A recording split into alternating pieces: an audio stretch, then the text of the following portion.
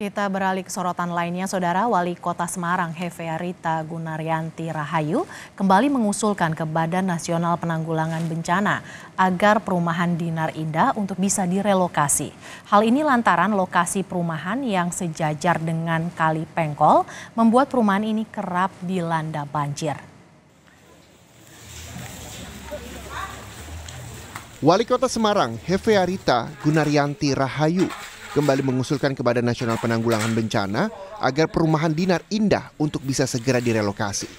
Wali Kota Semarang membenarkan lokasi perumahan Dinar Indah yang sejajar dengan Kali Pengkol, sehingga setiap air kali meluap perumahan pun terdampak banjir. Hefe Arita juga menyebut sebelumnya telah mengusulkan relokasi ke Kementerian Pekerjaan Umum dan Perumahan Rakyat sejak tahun lalu. Namun, relokasi terhambat karena warga menolak dipindahkan ke rumah susun yang ditawarkan Kementerian PUPR.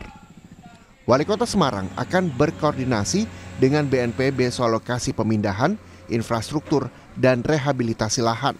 Salah satunya kan Dinar Indah ya. Yeah. Dinar Indah ini kan dari sejak 2000 berapa 2020 ya kalau nggak salah atau 2019 itu kan sudah selalu terdampak dengan uh, banjir limpasan dari Kali Pengkol.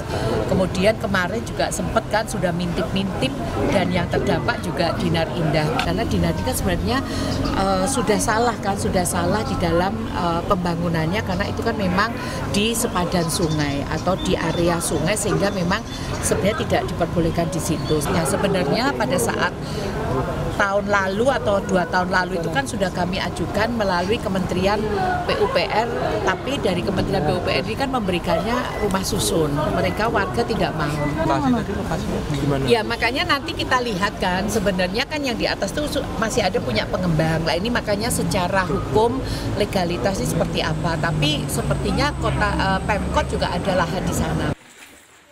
Total ada 33 keluarga yang tinggal di perumahan Dinar Indah yang akan direlokasi.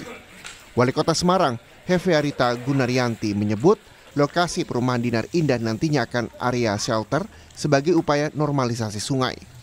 Prahayuda Febrianto, Kompas TV, Semarang, Jawa Tengah.